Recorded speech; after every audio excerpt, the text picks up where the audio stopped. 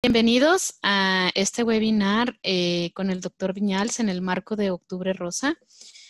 Eh, este webinar, aunque no es específicamente del tema que va enfocado hacia el cáncer de mama, eh, en esta serie de webinars lo que queremos es tocar temas pues que afecten a la mujer en, en todos sus aspectos. En este caso, eh, afectan la parte reproductiva y, algunas otras situaciones que el doctor nos explicará. Em, y nos platicará sobre cómo hacer 3D y 4D del útero. Eh, yo creo que el doctor Fernando Viñals es muy conocido por la parte materno-fetal, aunque eh, en la clínica donde él trabaja, que es el centro AGB en el Sanatorio Alemán en Concepción, Chile, no nada más hacen ultrasonido obstétrico, también hacen ultrasonido y hoy me platicaba que él cuando empezó a trabajar con G, lo primero que hacía o lo primero que empezó a hacer fueron cursos enfocados hacia la parte ginecológica. Y bueno, él es el jefe de la unidad de ecografía obstétrica y ginecológica en el centro AGB, eh, como les decía, ahí en la clínica Sanatorio Alemán. Y es director de diplomado en neurosonografía y ecocardiografía fetal en la Universidad eh, de Concepción en conjunto con la clínica Sanatorio Alemán. Y por muchos años el doctor Fernando Viñals em, fue, eh, bueno, digamos que fue profesor y fundador de los cursos LASUS que organizamos en Miami. Él estuvo con nosotros por más de 12 años. Hace ya van a ser dos años, ¿verdad? Que ya no está con nosotros, pero no perdo yo la esperanza de que algún día vuelva. Y bueno, este, toda la información y toda la campaña que se desarrolló para la parte de Octubre Rosa, ustedes la pueden, eh, pueden ver si escanean este link. Por si hay eh, personas de, de, Brasil, aquí está el link en portugués o el link en español. Y esto los va a llevar a la página en donde pueden ver todo el resto de, de los webinars me está mandando a la página. Aquí no sé si la pueden ver, este, viene toda la explicación de la campaña, videos testimoniales, información que ustedes pueden ver para, para, para bueno, eh, compartir incluso con sus pacientes, ¿no? Bueno, muchas gracias Fernando, bienvenido y este, espero disfruten este tema que a Fernando también le gusta mucho. Dejo de compartir para que puedas compartir, Fernando.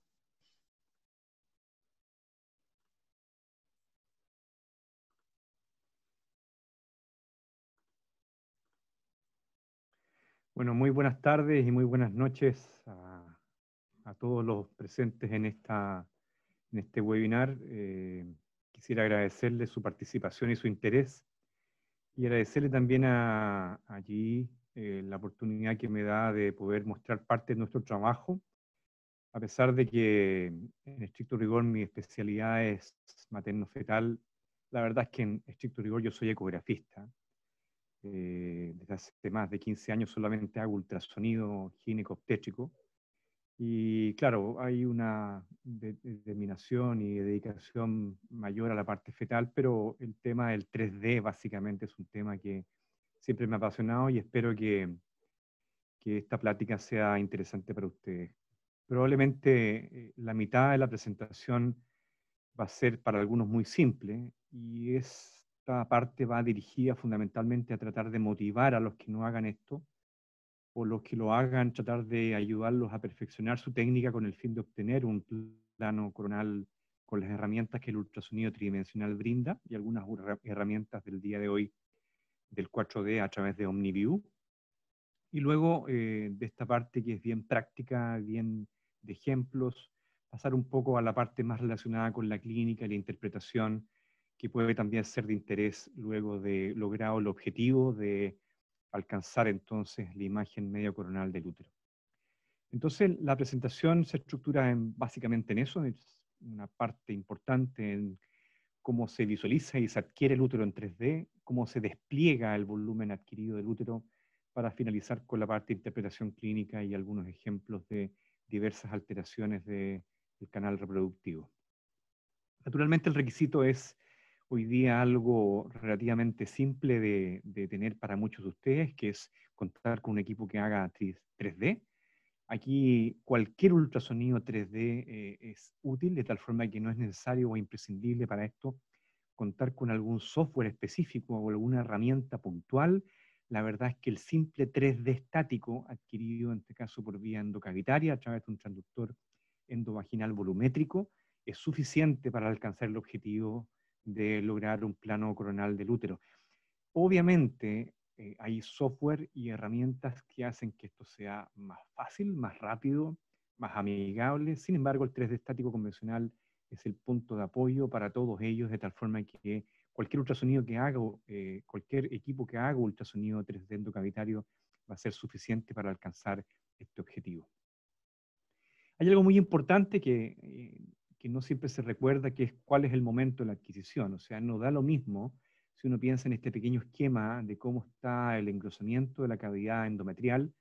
en un ciclo ovulatorio espontáneo, naturalmente, y por ende, entonces, si uno busca un mayor contraste, probablemente la fase secretora en un ciclo espontáneo sea el momento ideal para analizar entonces la morfología del útero. Y obviamente en las distintas circunstancias en que no se logra esto, ciclos irregulares, eh, amenorrea, eh, usuaria anticoncepción hormonal,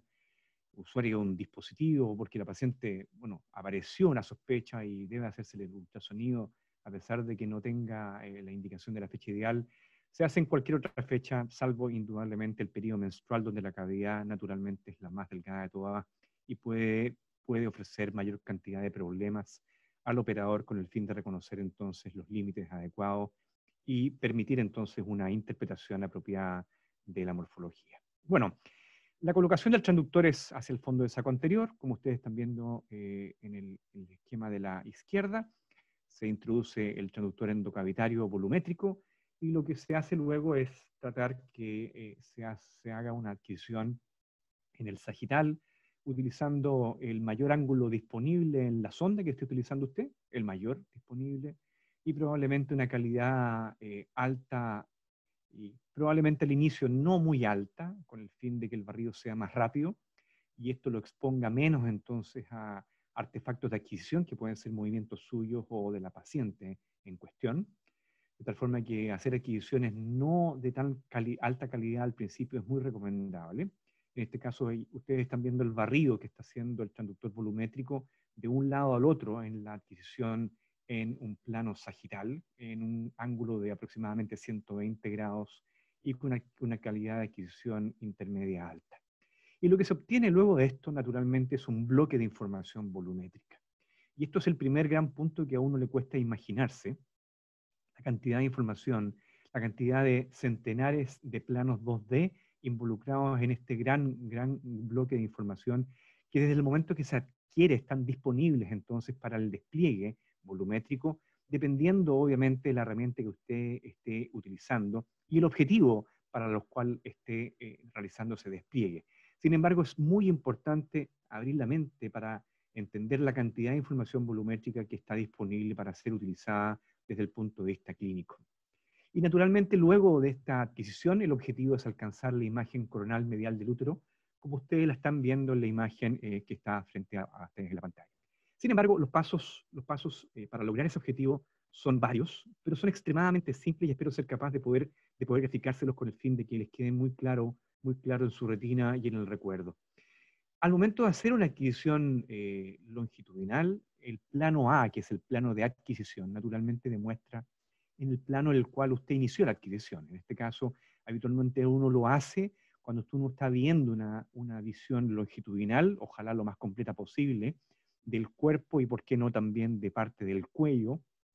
del útero, dependiendo naturalmente de la posición del útero y también del ángulo del transductor de la sonda que esté usted utilizando. De tal forma que el A es el plano de adquisición, que en este caso es el longitudinal. El B es un plano desplegado automáticamente en el plano multiplanar, que en este caso es un transverso. Y el C sería el plano coronal, que en este caso naturalmente no hay una imagen todavía porque estamos iniciando, iniciando la reconstrucción. De los elementos importantes entonces a recordar que el A es el plano de adquisición,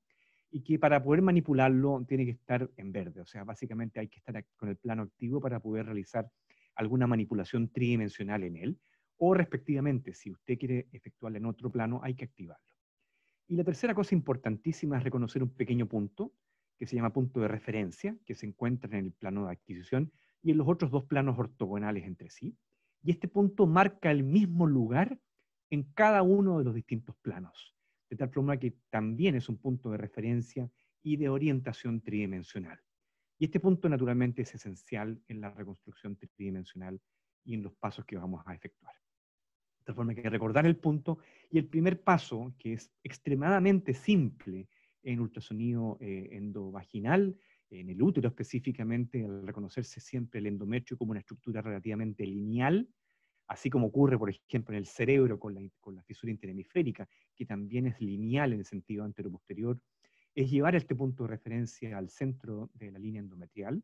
como ustedes lo están viendo, que acá, y obviamente como este es un plano eh, de reproducción tridimensional, al lado va a estar el punto de referencia en tres segmentos del mismo endometrio, obviamente en el mismo lugar en planos ortogonales distintos, y esto se hace exclusivamente movilizando con el trackball en el punto, eh, el punto de referencia en el plano A.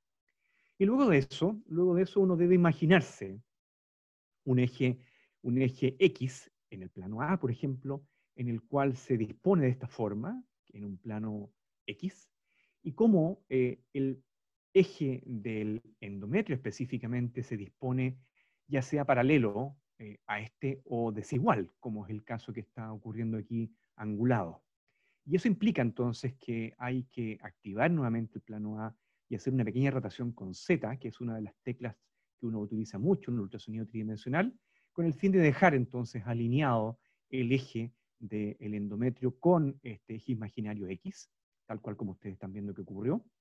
Y luego de esto, como son planos ortogonales, es imprescindible efectuar una segunda corrección en un plano más. Y habitualmente el plano que es de más fácil acceso en estas circunstancias es plano, el transverso, que se encuentra en B. Nuevamente les insisto en la adquisición longitudinal en el cual nuevamente usted imagina un plano X en el plano B, y luego dispone imaginariamente el plano del endometrio, y posteriormente eh, nuevamente corrige con Z con el fin de alinear ya en dos planos A y B el endometrio, con lo cual usted distingue entonces automáticamente que comienza a aparecer en, en C la imagen medio sagital del útero. De tal forma que es bastante simple, eh, bastante simple de lograr, y luego de eso, obviamente, usted puede eh, activar el plano C con el fin de dejar este plano en un eje fisiológico, como sería el cráneo caudal, o sea, se rota nuevamente con Z con el fin de dejarlo de pie, dejarlo en la posición fisiológica, y luego de esto usted ha alcanzado ya la reconstrucción tridimensional con un plano 3D estático, común y corriente, que se puede realizar en cualquier equipo, y después la recomendación es aplicar un filtro eh, tridimensional que se llama BCI, que básicamente lo que hace es combinar un paquete de información volumétrica de un grosor que uno decide, habitualmente por defecto es 2 milímetros, y en general esos 2 milímetros son más que suficientes para eh, este tipo de reconstrucción, en el cual se realzan un poco los bordes. Vuelvo hacia atrás para que usted vea cómo se ve sin BCI. Vuelvo hacia atrás. Y con BCI vuelvo hacia adelante, de tal forma que los bordes, en particular en este caso la unión endomiometrial o zona de unión, se visualiza con más claridad y por ende entonces entrega una información más eh, indicada, más precisa de lo que es los bordes de la cavidad endometrial, la unión endomiometrial y el miometrio propiamente tal. Usted despliega esta imagen eh, como total y ha alcanzado entonces el objetivo luego de esto. Posteriormente uno puede hacer una adquisición también en un plano transverso. Cuando se hace esto, a veces cuando el útero es muy grande, a veces cuando el defecto es de difícil localización, también es recomendable cuando uno parte porque no da lo mismo donde usted coloque el transductor y el ángulo en la adquisición sagital, entonces eh, muchas veces para orientarse más fácilmente yo recomiendo rotar el transductor a transverso y hacer una adquisición simple en transversa, en la cual uno ve los contornos laterales del útero, de tal forma que no hay un espacio de útero que se vaya a escapar de la adquisición, y si lo hay, usted se va a dar cuenta durante la simple adquisición volumétrica, y de esa misma forma entonces hace los mismos pasos, con la diferencia que en el plano A de adquisición va a haber una sección transversa y no una sección longitudinal, y el resto de los pasos son exactamente los mismos. Muy bien, tal cual como se los mostraba, el resto de los pasos son exactamente lo mismo. De tal forma que como resumen de esta primera parte, el paso esencial es la ubicación del punto de referencia a la línea endometrial, que uno podría graficar nuevamente, tratando de que esto se les quede grabado de esta forma. El punto de referencia debe ir a la línea endometrial, en este caso un endometrio proliferativo que probablemente va a contrastar más fácilmente. Y luego de eso, obviamente, alinear los ejes en A y en B con el fin de dejar entonces la línea endometrial, la cavidad endometrial en un plano lo más eh, paralelo posible al eje imaginario y de esa forma entonces tener una corrección y tener claro que estando colocado el punto de referencia en la línea endometrial, usted está despegando en C un plano medio sagital absoluto.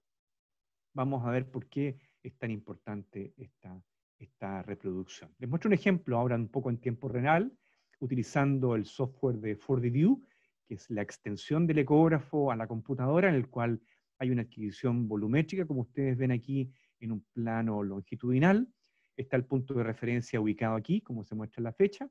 En el plano B está el plano transverso y en el plano C el plano coronal, que en este caso no tiene información. Está el plano activo, que se activa como usted lo está viendo, el está acá. Y al tenerlo activado se lleva al punto de referencia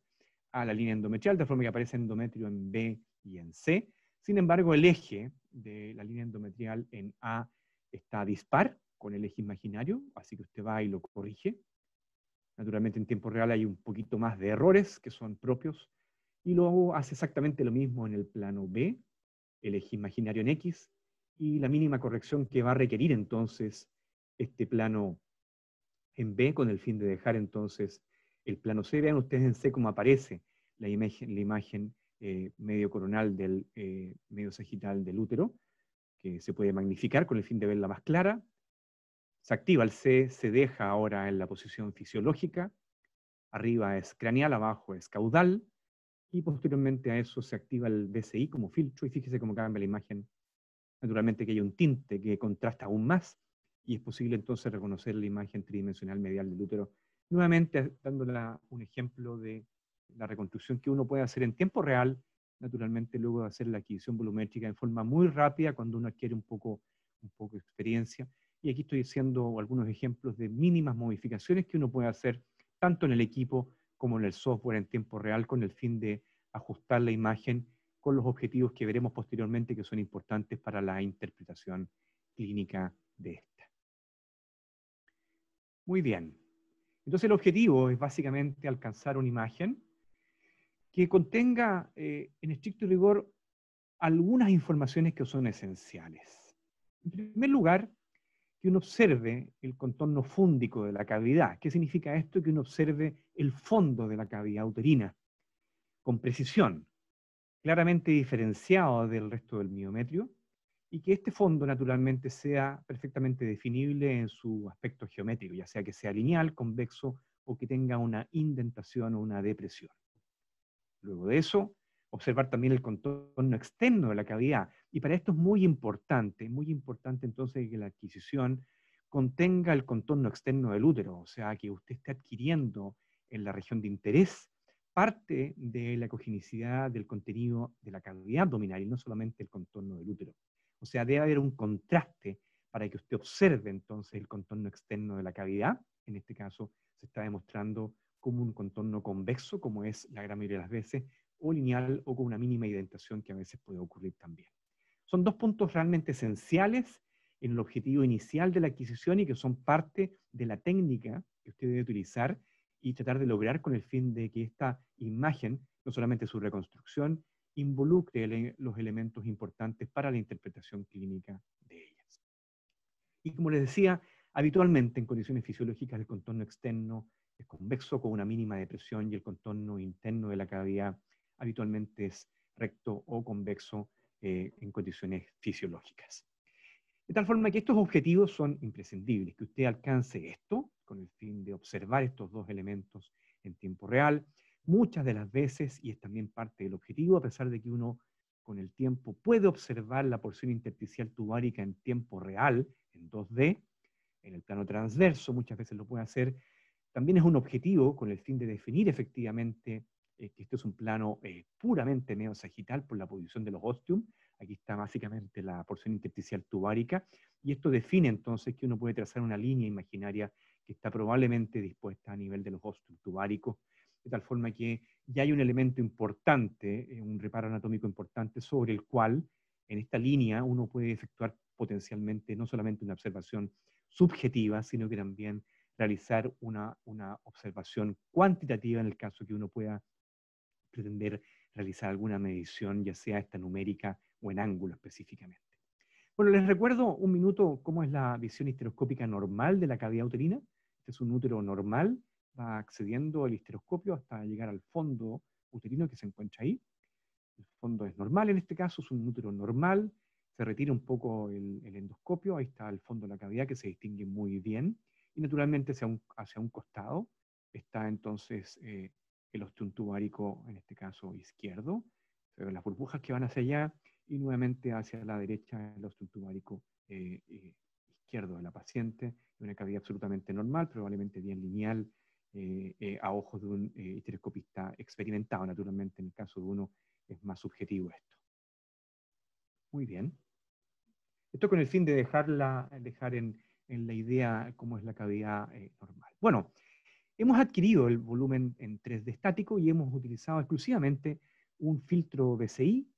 que está presente en la gran mayoría de las imágenes 3D. Sin embargo, todas nuestras máquinas 3D hacen un 3D de superficie, que es básicamente hacer un 3D a través de un render box, desplegando entonces una imagen de reconstrucción de superficie. Y esto también se puede hacer luego del ejercicio volumétrico que les nombraba anteriormente. De tal forma que en el caso que usted haya hecho la manipulación previa, puede desplegar entonces la imagen de renderización, con el cual aparece entonces el box de render que está desplegado en la imagen multiplanar y lo que ustedes están viendo en D en este caso es la reconstrucción tridimensional, que en este caso naturalmente no tiene mucho sentido. Y la razón básicamente es porque esta región de interés se expresa según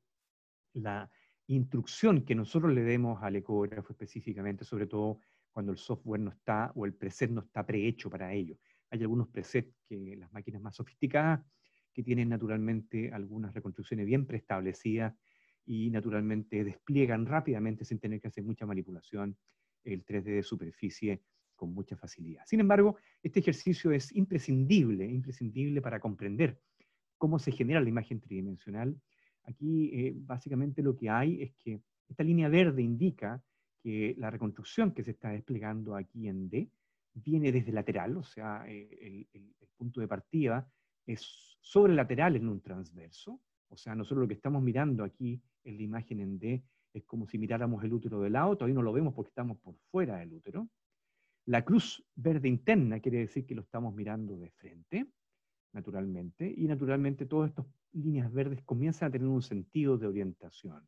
de tal forma que si yo eh, efectúo una selección de otros despliegues de render box, que los hay múltiples tanto en el ecógrafo como en el software de 4D View, por ejemplo, en este caso que estoy desplegando este, usted va a tener entonces la línea verde por delante, y obviamente si yo, al tenerla por delante en A y en B, y he jugado ya con los ejes para dejar el endometrio lo más lineal, obviamente si yo reduzco el tamaño del render box, voy a desplegar entonces, reduciéndolo, simplemente activándolo y con el trackball, voy a desplegar una imagen renderizada de la línea media de la cavidad como ustedes lo están viendo aquí. En forma extremadamente simple, hay diversas eh, modificaciones, uno lo puede hacer más pequeño, que es muy útil cuando el endometrio es bien lineal, uno debe hacerlo un poco curvo, cosa que también se puede hacer cuando el endometrio es un poco más oblicuo o más curvo propiamente tal, de tal forma que esas alternativas el equipo las da y espero poder mostrárselas nuevamente pronto. Bueno, y aquí los reparos andómicos son bien importantes, sobre todo cuando uno requiere reconocer cuál es el lado, por ejemplo, derecho, cuál es el lado izquierdo. Bueno, este render box tiene una serie de figuras geométricas, un rombo, una cruz, que también están presentes en el render box cuando usted lo despliega, Aquí está un cuadrado, está un rombo, que demuestra que esto es el contorno externo del útero, que corresponde naturalmente a esta parte de aquí,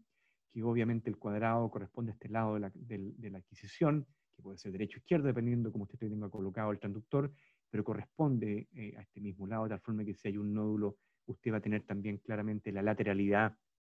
y eso le va a permitir entonces una orientación y una descripción también de la imagen obtenida de forma más adecuada. Orientación tridimensional también que ayuda mucho en esto y obviamente uno puede obtener una imagen diferente a esta otra, también es una reconstrucción, esto es una imagen 2D de reconstrucción con en este caso sin BCI, y aquí una renderización, un paquete de información volumétrica que se está desplegando con todas las ventajas y algunas desventajas que esto puede implicar también. Y aquí tenemos dos resultados medios sagitales del útero con dos formas de reconstrucción, todas ellas aún presentes en la máquina más simple, más simple ultrasonido tridimensional. Les muestro un ejemplo ahora muy breve, nuevamente eh, haciendo un render box con una técnica un poquito distinta que probablemente les va a interesar. Se despliega la, ventana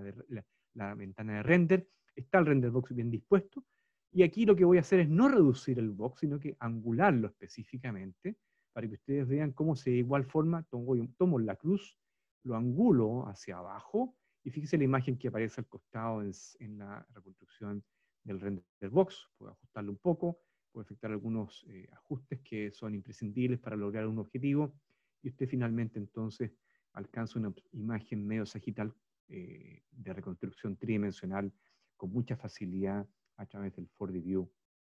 eh, efectuando entonces una curva específicamente sobre el render box como una antesala a las herramientas más modernas de adquisición automatizada que sería el OmniView. Aquí estoy ajustando con el fin de reconocer la zona, la zona del fin de la cavidad y el inicio de la posición intersticial tubárica con el fin de reconocer bien el fondo entonces de la cavidad uterina propiamente tal.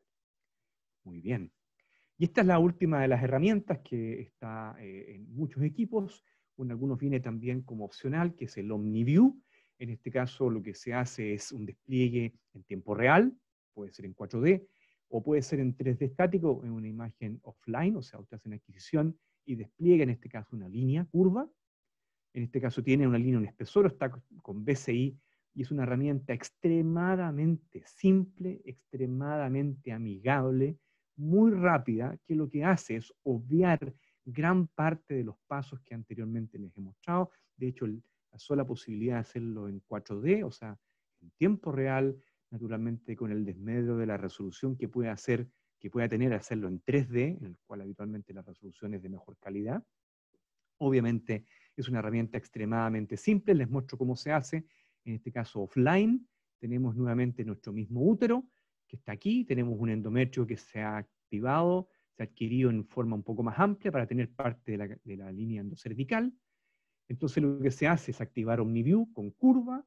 y se despliega. Entonces usted dibuja específicamente una curva desde fuera del fondo uterino para incluir parte de la cavidad abdominal, la coloca en el canal endocervical, lo activa y luego ajusta la curva en forma muy dinámica, en forma muy rápida, sobre la línea endometrial con el trackball y se despliega automáticamente una cavidad que está el BCI activo en 2 milímetros, cosa que es extremadamente recomendable también para esto con OmniView, y pequeños ajustes permiten entonces obtener una imagen de altísima calidad, en este caso a través de una adquisición 3D, también se puede hacer en 4D en tiempo real, y aquí tiene entonces una nueva herramienta, una nueva forma de adquisición eh, del útero a través de la técnica de OmniView. Y aquí ya hemos mostrado entonces cuatro alternativas posibles con el fin de desplegar eh, la imagen medio sagital del útero como, como lo habíamos obtenido. Aquí está el ejemplo en un mismo útero, en un mismo útero con las cuatro técnicas distintas, 3D estático, 3D más BCI, 3D eh, render, renderizado de la medio sagital y el OmniView más BCI. Yo sinceramente, como muchos autores, prefiero la segunda y la cuarta, son las técnicas que habitualmente basado en 3D, brindan una muy buena resolución. Obviamente, esto depende de cada paciente, pero en general son las dos técnicas esta y la última más recomendable, o sea, de forma que la edición de BCI es habitualmente muy recomendable con el fin de la interpretación de esto. Bueno, habiendo eh, terminado la parte de la introducción, que es una puesta al día o un refresco de cómo eh, efectuar la adquisición volumétrica y mostrarles un poco cómo se realiza y las distintas herramientas, vamos a pasar directamente a la evaluación, a la utilidad clínica que esto puede brindar con el fin de demostrar la normalidad de la cavidad, sobre todo en pacientes que tienen eh, antecedentes adversos reproductivos, o sea, gente que está en estudio de infertilidad o que ha tenido eh, abortos recurrentes, o que han tenido partos prematuros o partos en presentación distóxica repetida,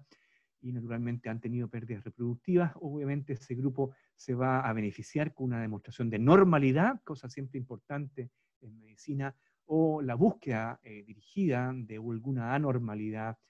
eh, siendo este entonces el grupo de riesgo clínico fundamental al cual presentar o indicar este tipo de examen. Y las anomalías uterinas son frecuentes, la verdad es que la, frecuencia en estricto rigor es bien variable porque ustedes van a comprender esta aseveración luego de la, finalizar la presentación porque la verdad es que depende de la clasificación. Y obviamente si no hay consenso en la clasificación, difícilmente uno va a poder tener claridad de cuánto es la población, de tal forma que probablemente son preguntas aún pendientes en lo que la medicina está hasta el día de hoy, pero que en algún momento, naturalmente, con el desarrollo y con el conocimiento médico se va a aclarar. Sin embargo, es una prevalencia mayor en mujeres que tienen historia de aborto y muchas de ellas, muchas de ellas también en porcentaje variable según la clasificación, no va a tener ninguna manifestación clínica eh, o historia de, previa de pérdida reproductiva en, su, en su historia. Bueno, el espectro es muy amplio, desde que no hay útero hasta que hay formas muy leves, denominadas hoy día normal arcuato, hasta alteraciones de la unificación o canalización que tienen un impacto reproductivo diferente, ya puede hacer que afecte con mayor eh, eh, preponderancia la capacidad fértil o genere entonces un mayor riesgo de aborto específicamente o de parto prematuro, dependiendo de la condición. Y esto es conocido por todos ustedes porque todos eh, de distintas edades hemos estudiado en base a la clasificación clásica publicada por la AFS el año 88. En una, voy a, encontré una, una, imagen bastante más, más, más moderna de la clásica que la quise colocar. Esta es la clásica eh, el clásico esquema de la AFS publicado en el año 88, que es eh, para muchos eh, útil hasta el día de hoy en la demostración de las malformaciones uterinas, es una combinación anatómica, histerosalpingográfica y también, por qué no decirlo, quirúrgica específicamente en esos entonces, para luego entonces posteriormente pasar a nuevas clasificaciones, esta fue el año 88, posteriormente el año 2013 aparece un gran consenso europeo, eh, mezclado entre la Sociedad Europea de Reproducción Humana y Embriología, con la Sociedad Europea de eh, Endoscopía Ginecológica, que dan una clasificación eh, ampliamente conocida del año 2013. Luego el 2016, por gran cantidad de problemas aparecidos o discusiones aparecidas en base a esta primera, a esta segunda clasificación, aparece una puesta al día de esta misma clasificación, que es la que ustedes ven aquí abajo, el año 2016, y también una recomendación de ahora la sociedad americana denominada como Sociedad Reproductiva en Medicina, que da una eh, eh, recomendación específica que podría considerarse como una puesta al día de la AFS el año 88. Y por último, para sumar más eh, potenciales clasificaciones de otro grupo, un grupo de expertos en anomalías congénitas publica el año 2018 una nueva clasificación. Todas ellas tienen ventajas y desventajas, todas ellas son por grupos que algunos de ellos participan en otras específicamente y naturalmente tienen de alguna forma eh, eh, alguna pugna en algunos puntos específicos de la interpretación de este, de este, volumen tridimensional que nosotros adquirimos posteriormente y que obviamente tiene mucha relevancia luego del proceso simple de adquisición que les mostraba. Sin embargo, a mi juicio, el punto de quiebre realmente se produce un poco antes, mirándolo ahora de la vereda no clínica, sino desde el punto de vista del diagnóstico y específicamente de la ecografía. El año 2003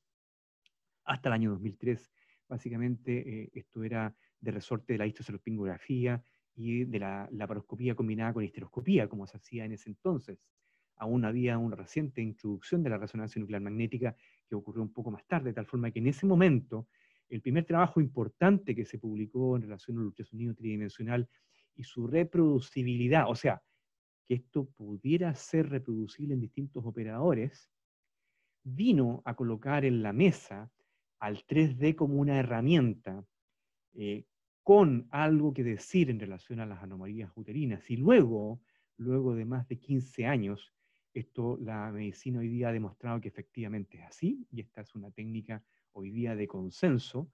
eh, que tiene un rendimiento muy, muy bueno y que probablemente en buenas manos no es superado por ninguna otra técnica desde el punto de vista diagnóstico, naturalmente dependiendo de situaciones puntuales y de la generalidad de los casos, porque hay casos importantes, muy difíciles o muy excepcionales que requieren técnicas complementarias, pero en la generalidad es una técnica muy importante que es no invasiva, que es ambulatoria y que tiene algunos eh, puntos de definición para que sea reproducible, que en el año 2013 se demostraron, que se los muestro en esta imagen original del paper de, del grupo inglés eh, que fue reportado, en el cual se colocaba una línea a nivel de los ostium, como les mostré que se hacía, y esta línea permitía de alguna forma efectuar algunas mediciones, ya sean estas en distancia o en ángulos, con el fin de subdividir los tipos de útero clásicamente demostrados por la AFS el año 88, y de alguna forma entonces los puntos más críticos, se los resumo para volver a las imágenes, que es lo que nos interesa en esta presentación de ecografía, que es básicamente tres objetivos fundamentales en los cuales usted debe concentrarse en ver bien el contorno externo del útero, el ver bien el contorno interno de la cavidad, el ver bien eh, la unión eh, de la cavidad con la porción intersticial, o sea, dónde están los óseos tubáricos, y trazar una línea imaginaria, o dibujar la línea directamente en, en el ecógrafo o en el 4D View, se puede hacer perfectamente esto. Y si existe una indentación, una depresión de la cavidad, esta se puede medir y los puntos de corte son, si mide más o menos de un centímetro, en este paper específicamente el año 2003. Y también se puede medir su angulación, básicamente si este es obtuso o es agudo, o sea, si es más o menos 90 grados, qué cosa que muchas de las veces no requiere específicamente una medición, sino que salta a la vista como es en este ejemplo en particular. Así de simple lo que se presentó el, 2000, el 2013 específicamente. Y luego hay las clasificaciones que les nombraba, que eh, esta es eh, la más extensa, que es de la europea, específicamente esta es la del 2013, con sus clases específicas que eh, muchos de nosotros utilizamos para informar, con un problema específicamente en, la definición del grupo que está aquí, de los grupos de los úteros septados, y algún problema también en los úteros T, que afortunadamente son muy raros eh, básicamente porque son úteros malformativos que existían más frecuentemente eh, en, la, antigüedad de la medicina, este, de, esta parte específicamente de la medicina. Está el útero cero, en el cual se dispone de la forma que ya hemos visto, contorno externo eh, convexo o lineal, contorno interno de la cavidad convexo o lineal, y luego naturalmente las formas de T, que este consenso de expertos vino a recorregir, colocando alternativas para su mejor definición, y que no esto sea tan subjetivo, nuevamente agregando, agregando parámetros cuantitativos a la subjetividad con el fin de hacerlo potencialmente más reproducible y naturalmente tener menor sesgo en la definición de anomalías de la estructura del útero. Luego vienen las dos, los dos grupos probablemente más frecuentes de anomalías estructurales, que son U2 y U3. Eh, el U2, que es básicamente los úteros septados en esta clasificación original del 2013, en el cual Obviamente, en estos dos casos, cuando usted esté en transverso, va a encontrar eh, que el endometrio se bifurca hacia el fondo, siempre va a ser así el signo de alerta que usted va a ver en el 2D cuando está en el transverso uterino en tiempo real yéndose hacia el fondo. Sin embargo, la conformación interna del útero es completamente distinta en una circunstancia u en otra, y eso naturalmente tiene una connotación clínica también diferente, y eventualmente, si es que se requiere una corrección quirúrgica, es completamente diferente también siendo obviamente algunos de estos casos potencialmente no necesarios de ser corregidos quirúrgicamente. Aquí tienen ustedes entonces una cavidad eh, de un ángulo bastante amplio y probablemente una, sí, una profundidad de más de un centímetro, en cambio aquí naturalmente hay dos hemicavidades. De tal forma que aquí surge, y este es uno de los puntos importantes de conflicto, ¿qué es lo que pasa con estos úteros que están con una depresión y que en esta categoría caben como úteros potencialmente anormales, pero serán realmente anormales? Y bueno, la medicina en este conflicto ha brindado, esto es del año 2019, una serie de respuestas para hacer un poco más complejo y nuevamente sin tener ninguna intención de eh, darles una receta cocina, no puede venir esa de mi parte, sino que mostrarles en el fondo los conflictos, después les voy a contar bien yo lo que hago, eh, eh, es básicamente la nueva clasificación del 2016, la clasificación de los expertos y la clasificación americana, dispuestas en este orden. Mientras más requisitos tenga,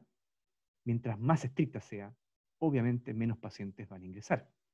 Probablemente mientras más estricta sea, probablemente va a ser más específica, o sea, más casos realmente patológicos van a ingresar y probablemente el sesgo para que se elija mejor a pacientes potencialmente corregibles quirúrgicamente va a ser más preciso. A la inversa, si los requisitos son más holgados, más austeros, se va a incluir una proporción de pacientes mucho mayor y probablemente muchas de ellas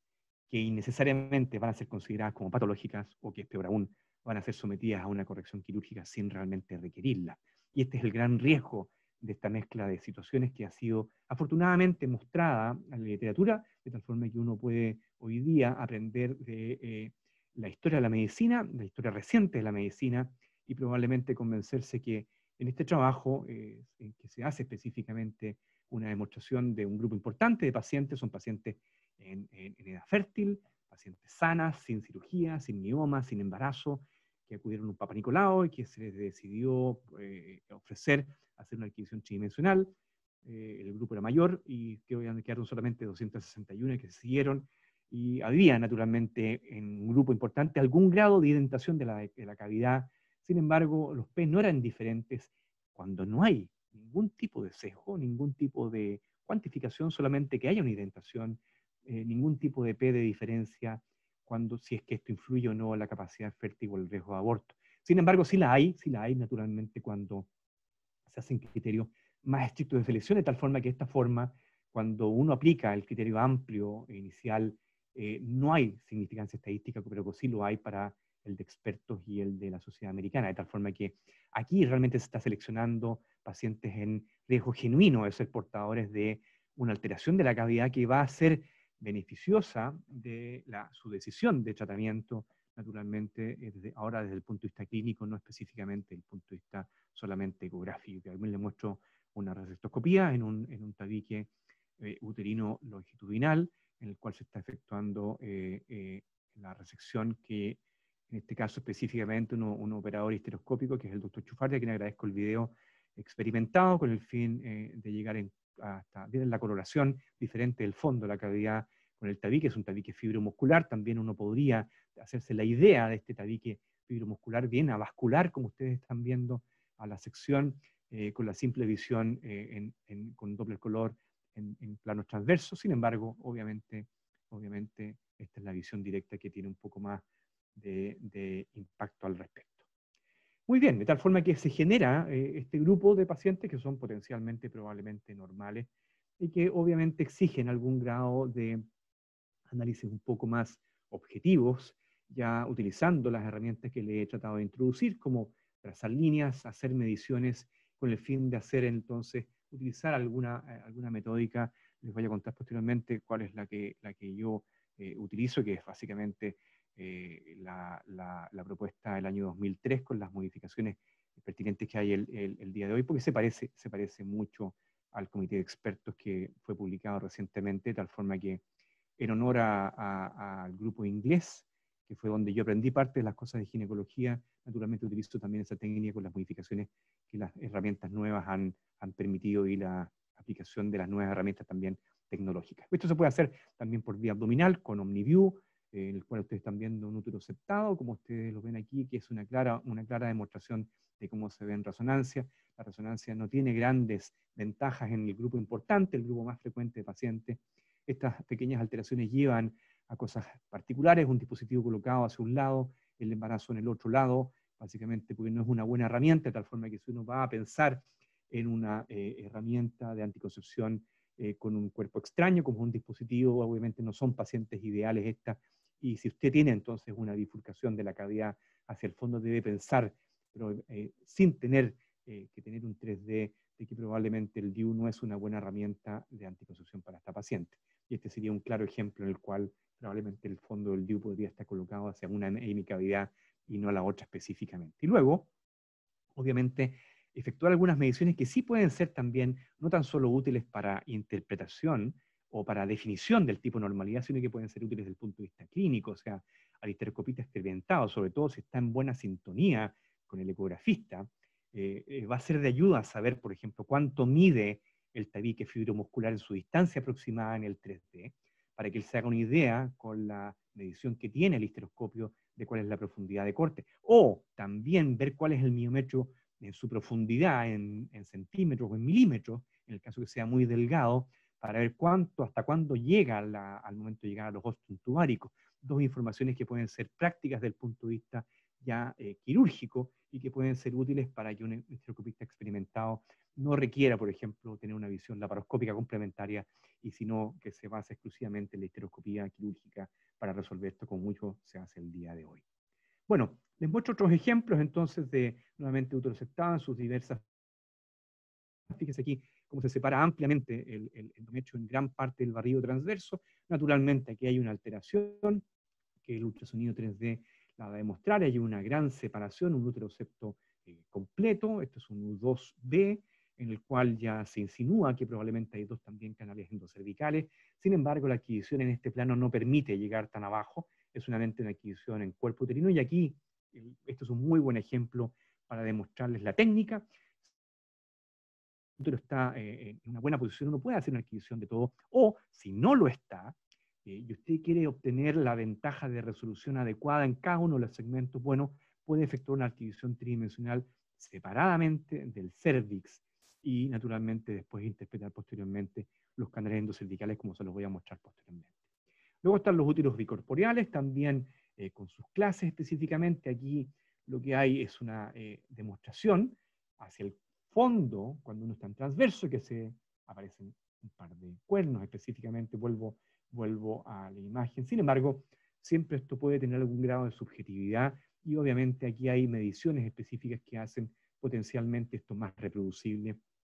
y por ende entonces la capacidad de llegar a un diagnóstico más preciso, nuevamente basado a través del ultrasonido, el ultrasonido tridimensional. Úteros que a veces uno se los encuentra con embarazos naturalmente sin ninguna eh, dificultad, a veces con embarazos a ambos lados, que cosa que podría ser muy paradojal, a veces difícilmente reconstruibles porque ya eh, estos bicorporeales no se ajustan a la, al patrón típico, eh, entonces esto es realmente un conual, esto de, un, de, un, bicorne o es un, es un cuerno atípico, esas son las dificultades que uno tiene, en este caso era un bicorne atípico, en el cual había un, eh, un, embarazo en un lado y afortunadamente funcionó bien, porque esto a veces es un, un, poco más complejo. Y naturalmente en este caso específicamente, en que hay, hay dos hemicuerpos muy separados, la reconstrucción tridimensional puede ser muy, muy laboriosa o definitivamente no poder hacerse específicamente, a pesar de que uno se haga la idea eh, tridimensional en la mente, no es posible a veces lograr una imagen que permita una representación adecuada de esto,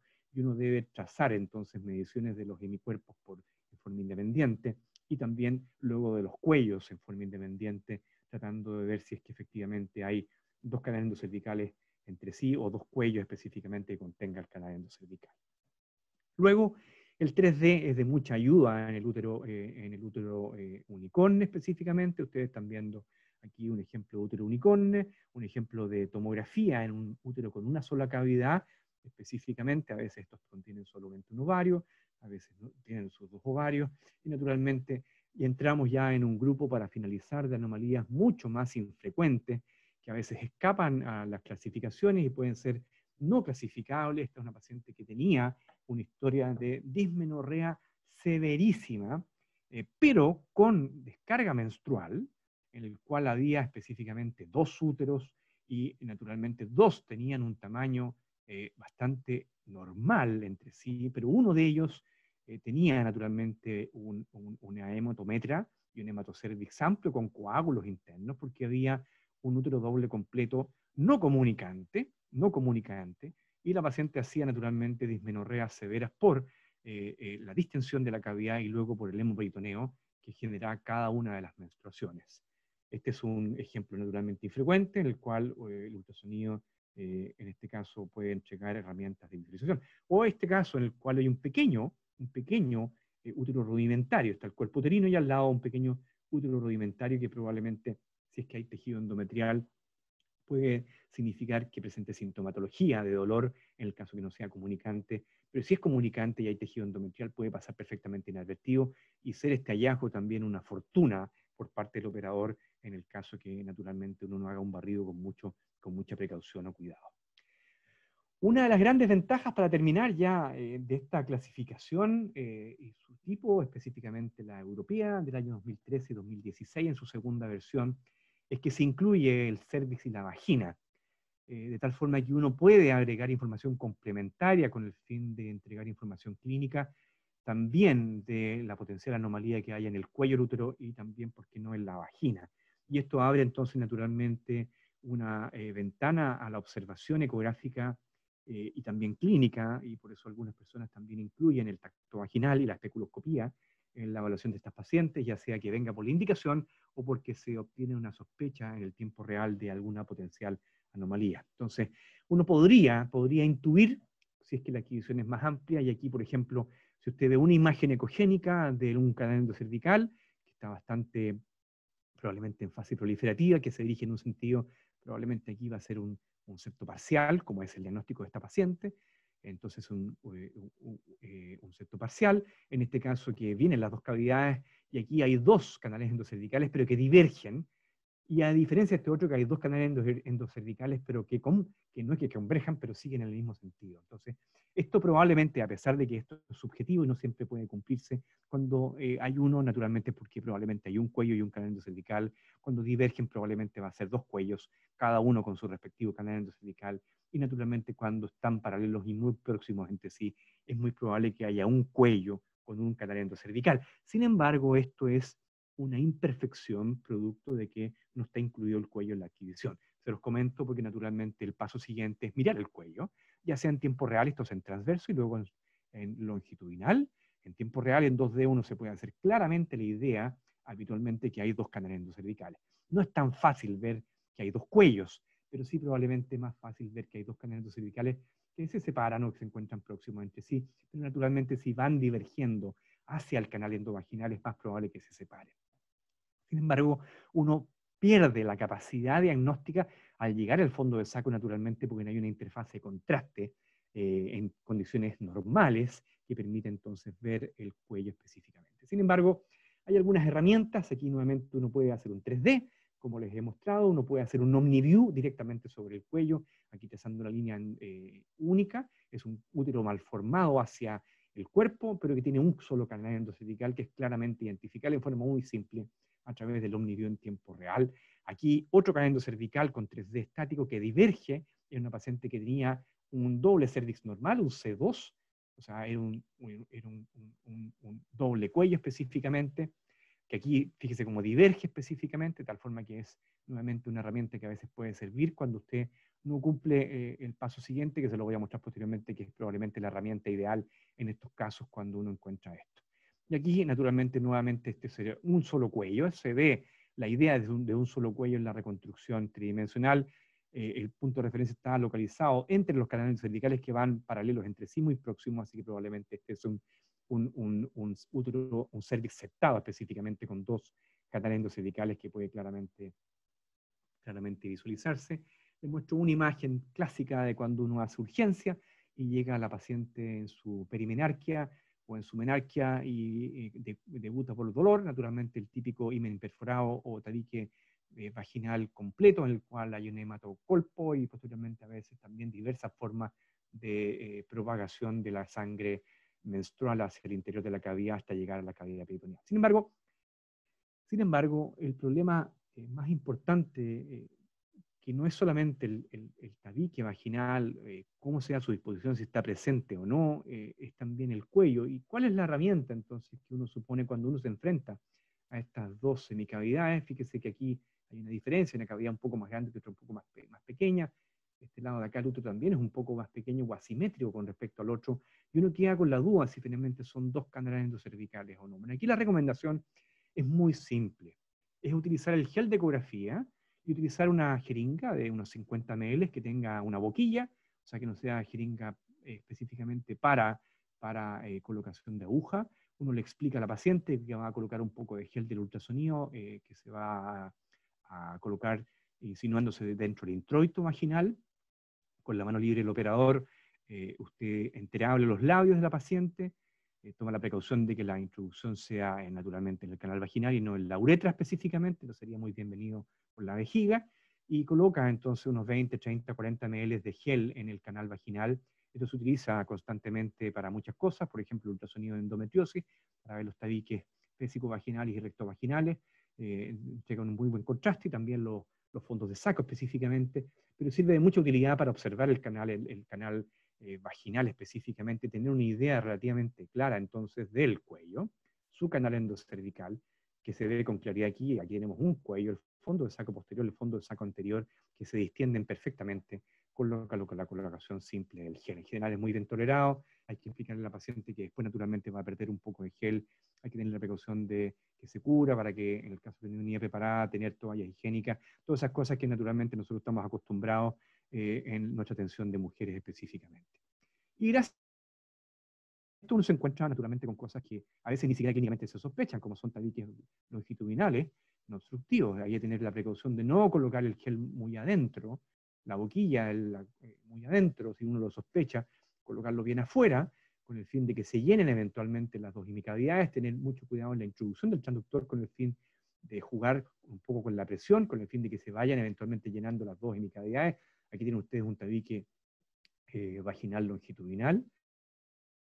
una paciente absolutamente asintomática, sin ni siquiera dispareunia y naturalmente con una vida reproductiva y muchos papanicolados y exámenes ginecológicos sin tener ninguna idea de esto al respecto. Otro ejemplo más en reconstrucción tridimensional en el cual se ven dos cuellos, uno en cada lado, que se ve un canal cervical y también se ve entonces con claridad eh, las glándulas endocervicales, como se ven aquí del otro, del otro canal endocervical que se encuentra hacia posterior. Entonces tenemos un canal anterior, un canal posterior, en un, nuevamente un longitudinal. Y otra situación bastante más infrecuente, esta paciente consultada por dispareunia, eh, había tenido muchos controles ginecológicos, tenía un par de ecografías incluso en nuestro centro, y a mí me incomodaba mucho porque cuando colocaba el transductor no llegaba al fondo, no entraba eh, en, en, el ejercicio normal de llegar al fondo del saco, que cuando uno hace ultrasonido dinámico en ginecología, básicamente el que ha enseñado la endometriosis específicamente, uno sabe que debe alcanzar, flanquear los fondos de saco anterior y posterior, y en este caso no llegaba, así que colocamos gel específicamente, y nos dimos cuenta al presionar con el transductor que, claro, había un stop. Un stop es una mujer en vida fértil, una mujer que menstrua regularmente, pero que consultaba por dispareunia, y naturalmente lo que había es un tabique eh, vaginal transverso, que probablemente era incompleto en algún punto y por eso naturalmente no generaba eh, eh, colecciones de sangre. Aquí está el útero completamente normal, con una cavidad endometrial sin líquido, y esta paciente menstruada, pero obviamente su, solución iba a ser una cirugía vaginal correctiva de este tabique, que al final, voy a detener ahora, porque estoy terminando ya al final de la imagen, se distingue con claridad entonces esta banda fibrosa que se encuentra transversa, obviamente incompleta,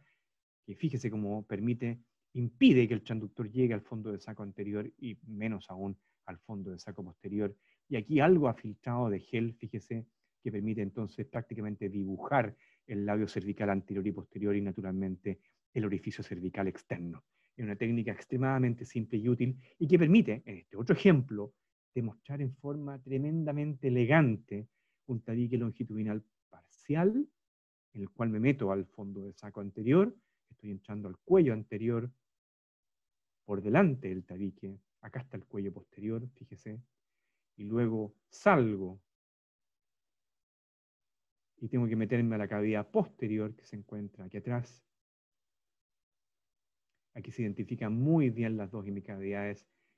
de tal forma que es un otro caso de tabique longitudinal que el GES permite en estos casos eh, eh, clarificarlo. Muy, muy recomendable, naturalmente, en esta paciente hacer una especuloscopía previa, en el caso que uno lo tenga asimilado como parte de la técnica. Fíjese aquí cómo entro el fondo de saco, al fondo de saco posterior específicamente, eh, luego de haber entrado al anterior. De tal forma que aquí estoy en el posterior, aquí estoy en el posterior que se ve con toda claridad.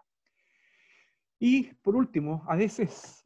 además de las dificultades eh, que puede eh, imprimir un útero muy mal formado, a veces un gran dolor de cabeza, a veces la resonancia es imprescindible, a veces la exploración eh, histeroscópica combinada con la laparoscopía permite un diagnóstico naturalmente definitivo, más que las imágenes en, en estricto rigor en situaciones muy particulares. Pero hay una, hay una dificultad más frecuente, que es que uno sospecha algo de una paciente que tiene un endometrio muy poco, muy poco contrastable. Y en esos casos, naturalmente, si es necesario, si es estrictamente imprescindible, y uno no tiene posibilidad de recitar a la paciente en un periodo secretor, siempre existe la posibilidad de generar un contraste de la cavidad, ya sea con líquido específicamente en la histerosonestereografía, que se hace habitualmente inyectando líquido dentro de la cavidad, o en la forma más elegante a través de esta imagen eh, gentilmente cedida por, por eh, nuestro colega y que trabaja en nuestra unidad, que es Linder Díaz, que es con gel, específicamente con espuma, con Hyphosig, en el cual se dibuja entonces una indentación de la cavidad en forma muy elegante en una paciente que iba a estudio de supermeabilidad tubárica. Entonces, en estos casos específicos hay herramientas también que las imágenes en forma, en forma ambulatoria, en forma no invasiva, eh, entregan para poder dar respuesta a situaciones clínicas en particular. Bueno, espero que, esto les haya interesado nuevamente eh, eh, para los que consideraron que esta charla hecha por un materno fetal parecía algo curioso. Nuevamente les insisto que yo soy más dedicado al ultrasonido, me afana el, el diagnóstico y el ultrasonido 3D ha sido mi, mi, mi, norte desde que eh, ingresé,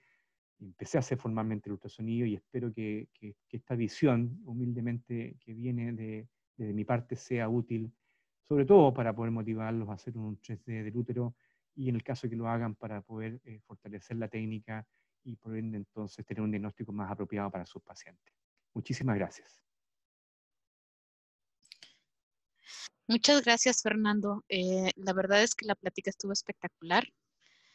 Este, me está fallando un poquito la internet, no sé si me están escuchando bien. ¿Sí? Yo te escucho perfecto. Ah, perfecto. Y bueno, ya nos están compartiendo los doctores algunas preguntas. También las estuvieron compartiendo con el, por el chat.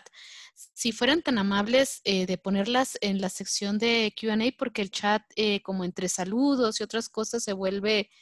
pues un poco complejo de estar buscando las preguntas, ¿no? Entonces, eh, la primera es, ¿cómo hacer una imagen 3D en un útero en posición indiferente? Bueno, esa es una de las razones por las cuales hay dificultades. Eh, yo le diría que eh, en general las sondas nuevas y los equipos más sofisticados tienen mucho mejor penetración, eso es indudable, pero en el caso que usted utilice una sonda de alta frecuencia, la que llega hasta 12 MHz, la, penetración está bastante reducida. Y eso es una de las dificultades que uno tiene, de tal forma que probablemente sea más difícil siempre obtener eso.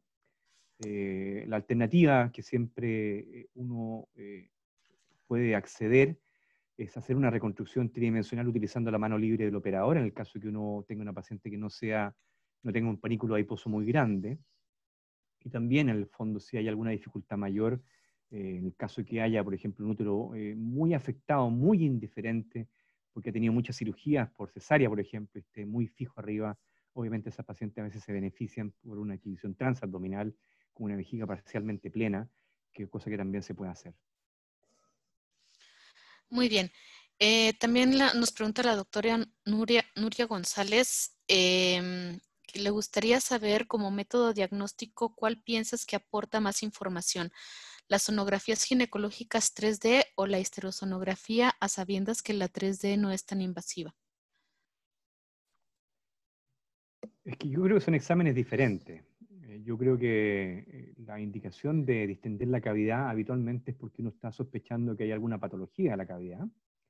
Eso con el contraste convencional, que es el líquido. Y la otra razón sería naturalmente como parte de un estudio de la capacidad fértil, en el cual uno mezcla estudiar la cavidad, estudiar su conformación, estudiar que no haya normalidades y también estudiar la permeabilidad tubárica. Así que yo creo que son exámenes eh, que son diferentes, de tal forma que si uno va a hacer un 3D, uno va a hacer un 3D. La pregunta es interesante porque la siguiente pregunta es si es que uno va a colocar un medio de contraste, uno debe hacer un 3D siempre para entregar el máximo de información posible, de tal forma que esa pregunta probablemente es la interesante y naturalmente la respuesta tiende a ser que sí. Muchas gracias. La doctora Priscila Fallas eh, nos da las buenas tardes y nos pregunta que en el reporte de este tipo de estudios, ¿sugieres algún seguimiento y con qué frecuencia? Bueno, yo creo que uno, eh, si uno va a hacer un 3D y encuentra una anomalía, lo que hay que tratar de ser lo más descriptivo posible pensando en la información que va a ser importante para el clínico. Y naturalmente, salvo que sea una persona que esté dedicada a la cirugía endoscópica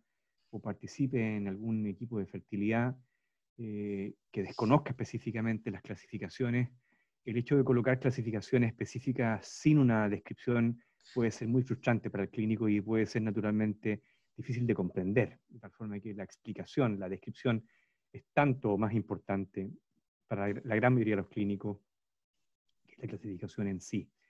Ahora, eh, obviamente la interpretación clínica se le va a dar el médico tratante, eh, basado naturalmente en los antecedentes anamnésticos o obstétricos que, tenga la paciente, de tal forma que de ahí va a salir en el fondo la indicación de si es que es necesario algún seguimiento o tener alguna terapia específicamente.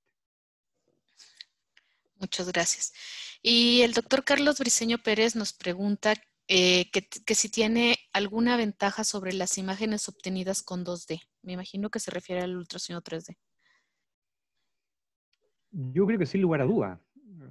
aquí lo que se está intentando hacer es hacer una reconstrucción medio sagital, medio coronal del útero completamente, en un plano que dificultosamente uno puede realizar, eh, salvo que haya una posición muy particular del útero, que no es lo habitual. De tal forma que eh, si uno juega con eso, eh, la posibilidad de comprender bien la morfología uterina se hace menor y la posibilidad de confundir un útero bicorne con un útero septado es altísima. De hecho, si hay un útero muy septado eh, versus el útero didelfo de la antigua AFS, puede verse muy similar en la histerosalpingografía y el tratamiento es completamente distinto. De hecho, uno se trata y el otro no se trata específicamente, salvo que haya muy mala, muy mala histeroptética, de tal forma que naturalmente hay un puñado de condiciones en las cuales la respuesta correcta al diagnóstico uterino es imprescindible. Y claro, puede haber alguien que tenga una capacidad tridimensional mental de generar esas imágenes porque uno lo ha vivido en otro tipo de anomalías eh, fetales o en otro tipo de aplicaciones del 3D, pero si uno intenta hacer una técnica reproducible que uno pueda enseñar o fomentar a personas que tengan estas máquinas para que intenten hacerlo y sus resultados puedan compararse con los de otra persona, naturalmente hay que basarse en el ultrasonido 3D. Muy bien. Eh, también tenemos dos preguntas que creo que están enfocadas a lo mismo. Eh, les gustaría que explicaras un poco más lo que es la técnica HIFOSI eh, y, y, que me imagino que expliques a lo mejor el medio que están usando. La, verdad, es que, la verdad es que siento bien sincero, podría explicar muy poco de eso, porque eh, con el fin de que la técnica sea nuevamente reproducible y que tenga una clara sintonía con los subespecialistas que la indican específicamente, como está ocurriendo en nuestra unidad al día de hoy. Esto está eh, en manos exclusivas del doctor Linder Díaz, que es el doctor que el cual mostré la imagen, de tal forma que él es el que realiza los exámenes. Se hace muy similar a una histrosonografía, pero con una, eh, una cánula especial que viene eh, con eh, la espuma específicamente. Y yo creo que como es una técnica novedosa y nosotros tenemos una experiencia acumulada, en particular el doctor Linder Díaz, yo creo que lo que debieran hacer ustedes es tratar de fomentar que Úrsula lo invite a dar un webinar, porque sería, creo yo, muy interesante que se difundiera esto. Y naturalmente en esa charla podría combinarse también la información tridimensional que uno puede obtener también, no solamente en base a la permeabilidad tubárica. Claro, es que existen, eh, existe la técnica HICOSI, que es con medio de contraste para ultrasonido, y HIFOSI, pero esta foam que se usa, que es de una marca que se llama Exem Foam o Gel, eh, no está disponible en todos los países de América Latina. Chile es uno de los países que sí lo tiene registrado, ¿no? O que sí lo, pueden usar.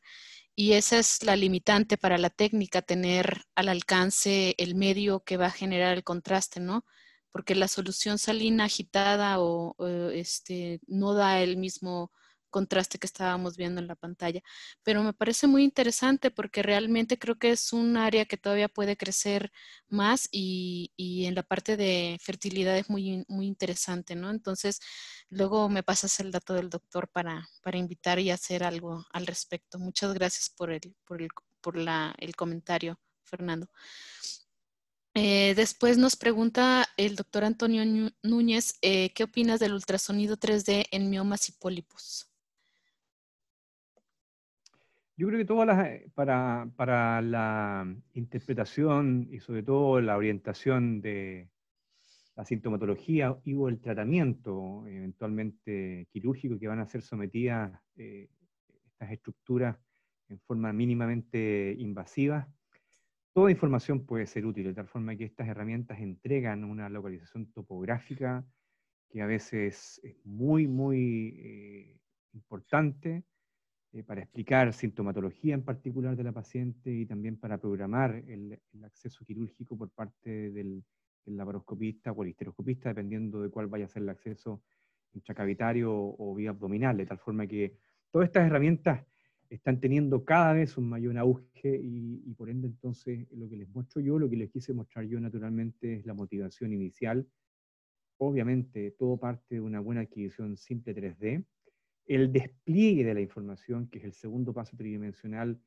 Recuerden que el tercero es la interpretación, está la adquisición, el despliegue y la interpretación. El despliegue puede ser un poco diferente cuando uno quiere, en el fondo, reconstruir porciones más amplias del útero o más dirigido a la cavidad específicamente, o podría ser también el reconocimiento de adenomiosis, si uno quiere reconocer bien la unión endomiometrial, por ejemplo, el cual el 3D también tiene mucho que decir específicamente. De tal forma que todas esas son nuevas aplicaciones que eh, están siendo hoy día una realidad en el, ultrasonido ginecológico. Muchas gracias. Eh, yo, este, una vez un doctor me comentaba que anteriormente para evaluar pólipos eh, hacían una histerosonografía normal con líquido, con solución, pero que ahora con la 3D prácticamente las podía ver, además de la sensibilidad, con la sensibilidad del color que manejamos actualmente, sin necesidad de hacer eh, este tipo de, procedimientos, ¿no? No sé, ¿tú qué opinas? O sea, lo que ocurre es que, y aquí también es difícil generalizar, pero muchas de las veces cuando hay un cuerpo extraño, que es en este caso un pólipo dentro de la cavidad, muchas veces eh, durante la vida fértil de la paciente ese pólipo está activo vascularmente, tal forma que más que ayudar el 3D en el reconocimiento es el doble color de sensibilidad, entonces, el tener buenas máquinas que permitan ver el vaso nutricio, que emerge la pared miometrial y se dispone dentro de la cavidad, es una muy buena forma de poder sospechar un, pólipo dentro de la cavidad. Efectivamente, algunas veces el hecho que haya una estructura un poco más contrastada o quística también afirma el diagnóstico, la sospecha diagnóstica, y a veces particularmente el hecho que haya cavidad eh, eh, no virtual, porque hay un poco de líquido, porque está terminando la menstruación, permite, permite a veces dibujar el pólipo específicamente. Y otro punto importante en relación a los pólipos, que como muchas pacientes cesarizadas tienen una muesca o un ismocel en la porción inferior del útero, esta zona habitualmente se llena con un poco de líquido que queda después del periodo menstrual, que no ha sido vaciado, también eso entrega entonces un contraste eh, líquido que permite sospechar eh, la presencia de pólipos, no solamente a, este nivel, sino que también a veces un poco más arriba, cuando la cavidad también se llena un poco más arriba del contenido del istmo ah, muchas gracias. Nos pregunta un doctor que si la captura de 3D la haces en modo ginecológico o en modo obstétrico. Sí, bueno, la pregunta es muy importante porque en general el resultado de la calidad de la imagen es un requisito esencial. De tal forma, doctor, que lo que uno debe hacer es utilizar el máximo de herramientas que le permitan a usted tener una buena imagen 2D. Cualquier esfuerzo que usted haga en ese sentido antes de efectuar la adquisición tridimensional va a rendir frutos en tener un mejor volumen para el despliegue e interpretación. Eso pasa porque si su equipo tiene presets preestablecidos para las distintas aplicaciones, los utilice, porque habitualmente en las máquinas nuevas esos presets son bien útiles para tener mejor calidad de imagen. En el caso que no sea así, siempre existe la posibilidad de que usted le solicite al aplicacionista de que le vendió el equipo, de la empresa que le vendió el equipo, que lo ayude a ajustar el preset para el transductor que está usted utilizando, de tal forma de tener la mejor imagen 2D. Lo mismo ocurre que si usted va a hacer una adquisición 3D con color, debe ocuparse la misma, la misma precisión de tener un color muy bien seteado de tal forma que cualquier esfuerzo que usted haga en tener una mejor imagen 2D, ya sea en el preset, en la magnificación, en el contraste, en la escala de grises, en los filtros que esté utilizando, naturalmente eso va a rendir frutos en la imagen 3D final que va a desplegar.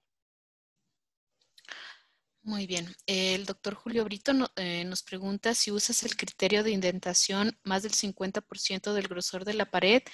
de la sociedad europea. yo ocupo, yo ocupo a ver, yo ocupo en general la sociedad europea para todo, salvo eh, para los úteros que son sospechosos de arcuato y septo, y ahí ocupo la, la, metódica de Cume, que es la misma que tenía prácticamente Davor Jurkovic publicado el año 2003, que es la que le mostré que es eh, ángulo mayor o menor de 90 y más, de o más o menos de un centímetro. Muy bien. Eso no, es eso no quiere decir que sea lo correcto, eso es lo que ocupo yo. Claro. Eh, nos pregunta el doctor René Pérez, eh, que por arriba ya había hecho también una pregunta. Eh, en vez de poner gel libre en vagina, ¿se puede poner en el dedo de un guante de gel y poner la sonda en el mismo dedo con gel. Es como una afirmación, no es pregunta, ¿no? Este, tú, yo creo que hace diferencia ponerla en toda la cavidad, ¿no? Pero no sé, ¿tú qué le puedes comentar al doctor?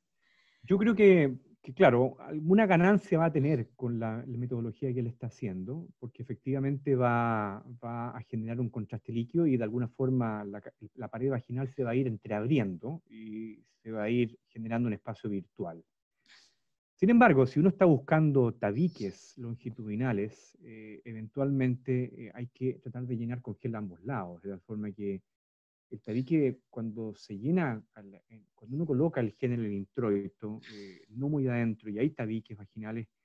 es muy frecuente, muy frecuente eh, que, se llenen automáticamente las dos hemicavidades. Entonces, eso es difícil de reducirlo si uno lo coloca solamente en el guante. ¿Cuál sería la situación particular en la cual no ocurriría un llene si uno coloca la jeringa en el introito, que el tabique sea tan, tan largo, tan que llegue prácticamente hasta el introito mismo. Y en esos casos habitualmente son reconocidos clínicamente porque son evidentes o porque han producido naturalmente algún reconocimiento también por parte de la paciente. Así que yo creo que eh, sin tener una respuesta concreta ni tampoco eh, eh, exacta al respecto, yo creo que para este efecto en particular, yo creo que es mejor la introducción con gel con la jeringa. Muy bien. Em, el doctor Wagner eh, Prado de, me imagino que es de Brasil, te felicita porque sea parabéns. Eh, que si tú has visto casos de adenomiosis em, por la alteración de la línea media endometrial en 3D. Pregunta. Sí, claro, por supuesto. Claro que sí. Y el doctor José Freddy Jiménez pregunta, ¿cuál es la utilidad de 3D para el diagnóstico del embarazo heterotópico. Creo que se sale un poquito del tema que está, pero es de 3D. de todas formas, yo creo que, yo creo que, yo creo que ninguna. Yo creo que el embarazo heterotópico es un gran desafío. Eh, la primera gran ayuda para el embarazo heterotópico es saber si usted trabaja en un centro que se haga fertilidad, porque cuando hay un centro que se hace fertilidad, hay indudablemente más cosas raras que uno ve desde el punto de vista del embarazo inicial y ginecológico, y el embarazo heterotópico es uno de ellos. Eh, pero en general, quizás la principal recomendación que uno podría hacer eh, para tratar de minimizar el suberror eh, del embarazo heterotópico inicial, no el que, no, que está ya sintomático, es naturalmente tener la precaución de mirar los anexos en el embarazo inicial. Si uno tiene un huevo intracavitario, y ha hecho el ultrasonido de localización del saco gestacional, del embrión inicial, de su vitalidad, del lugar de localización del saco, eh, es importante ir a mirar los anexos. Eh, y naturalmente una buena excusa es ver la localización del cuerpo lúteo y también si uno pasa por los anexos obviamente tiene mayor capacidad de poder detectar cosas que estén los anexos como un embarazo heterotópico. Sin embargo, siempre es un gran desafío el embarazo heterotópico y eso probablemente es más del tiempo real que el ultrasonido 3D. Muy bien. Eh, un doctor también pregunta que si la, curva de aprendizaje de la técnica 3D ginecológica es larga para un manejo más efectivo de las pacientes. Yo creo que no. Yo creo que son, eh, el ultrasonido endovagital es un, un ultrasonido absolutamente integrado en la cabeza del ginecólogo. Hoy día Muchos de estos ultrasonidos se hacen en la oficina. Eh, es una extensión de la herramienta clínica que antes se hacía eh, con el tacto bimanual, y hoy día en la pesquisa, eh, la utilización y por ende la práctica del, del, del, ginecoptetra de consulta en relación al ultrasonido es mucho mayor, de tal forma que yo creo que no, porque eso involucra que muchos saben obtener un plano sagital medial, eh, un plano coronal, perdón, transverso del útero. Y el paso siguiente sería naturalmente aprender a hacer una adquisición volumétrica. Y bueno, a lo mejor, claro, un, un, ginecólogo de consulta le va a costar un poco más, pero un ecografista que hoy día hace ultrasonido ginecobstétrico hace habitualmente ultrasonido 3D para mirar la cara de los bebés. Eso hoy día es parte de la regla del ultrasonido, de tal forma que de alguna u otra forma eh, usted está involucrado con el ultrasonido tridimensional o 4D. Ahora, claro, aquí hay que volver un poco a la base del ultrasonido tridimensional, que es los planos multiplanares. Y claro, uno está probablemente mal acostumbrado a estas herramientas tan, tan eh, amigables, con tanta inteligencia artificial, por qué no decirlo en alguna de esas cosas, que entregan, entregan un despliegue cada vez más rápido y más simple de las imágenes. Sin embargo, el concepto tridimensional básico es muy simple y no es más complejo que el que les acabo de decir, de tal forma que yo creo que la técnica de aprendizaje naturalmente no debiera ser muy grande. Y luego el gran problema es encontrarse con un grupo de pacientes anormales que le permiten entonces usted profundizar su conocimiento, porque naturalmente el aprendizaje en medicina no está solamente dado por observar pacientes normales, sino que exponerse a pacientes anormales, patológicas, y tener el feedback de que efectivamente lo que usted vio realmente era así. Muy bien. Bueno, todavía quedan muchas preguntas, Fernando, pero yo sé que para ti es un poquito tarde. ¿Quieres que continuemos o...? Dos más, creo yo. Dos más. Híjole, está difícil decidir en cuáles. Em, primero la segunda, después la, primero la segunda, después la primera. Eh, estoy buscando eh, eh, por, ejemplo, dice el valor de la 3D en el diagnóstico del ismocele. Yo creo que eso es demasiado reciente para que uno le vaya a asignar un valor a algo. Yo creo que eso está en plena, en plena fase de discusión. Imagínense las discusiones que hay con la clasificación de los 3D de los últimos, de los últimos años. Yo creo que el ismocele eh, naturalmente llegó para quedarse eh, por la tasa cesárea. Sin embargo, esto no es reciente, el ismocele podrá tener un nombre reciente como tal, pero nosotros lo venimos viendo hace muchos años, la sintomatología del hoy día denominado ismocele, nosotros la hemos encontrado hace más de 15 años en pacientes, que claro, hoy día la prevalencia es mucho mayor por la tasa cesárea, y porque se comprende un poco más esto, pero, pero, pero es una condición que hoy día es más prevalente, y hay naturalmente una serie de herramientas simples como son su cuantificación para poder tomar alguna conducta clínica y probablemente debe haber algún espacio que el futuro de la medicina lo dirá para alguna otra herramienta diagnóstica. Pero no sabría ni tampoco me atrevería a recomendar una técnica hoy día de consenso porque no lo hay, aún. Muy bien. Y la última, eh, el doctor León Ceballos quería consultar si hay algún parámetro de la medida del espesor de la unión miometro-miometro endometrial. Sí, por supuesto que lo hay. Lo hay para resonancia y para ultrasonido tridimensional. Ahora, en resonancia probablemente eh, es bastante más, más fácil hacerlo. La verdad es que en el ultrasonido tridimensional, en estricto rigor, es difícil a veces reproducir la unión endometrial con precisión en todas las pacientes. Y a pesar de que hay nomogramas de, hay, perdón, hay, hay, hay topes de mediciones eh, yo no me atrevería a decirlos ahora porque no están muy, muy, muy frescos en mi mente, porque no es un tema que vea directamente, pero sí los hay para ultrasonido 3D y para resonancia nuclear magnética y estarán disponibles en la literatura al respecto. Muchas gracias. También tuvimos varias preguntas que nos hacían sobre el 4D View. Eh, y estas preguntas, eh, con gusto después se las hacemos llegar. Eran más que nada de cómo lo podían adquirir.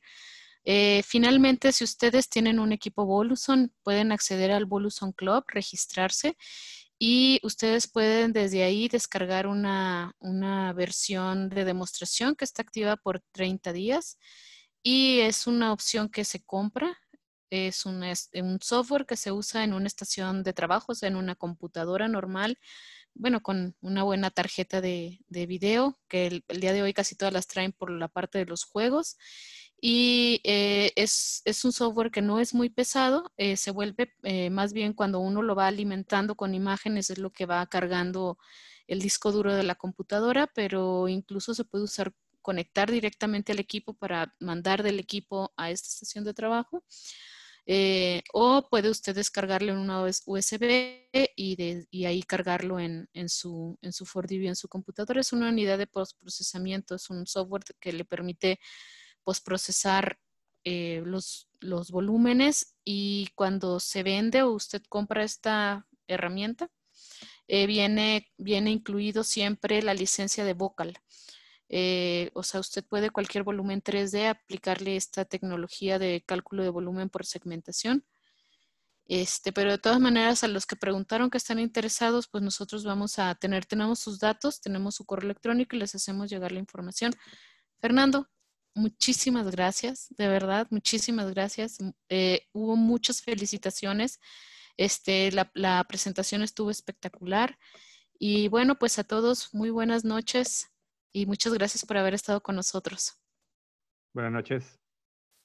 Hasta luego. Buenas noches.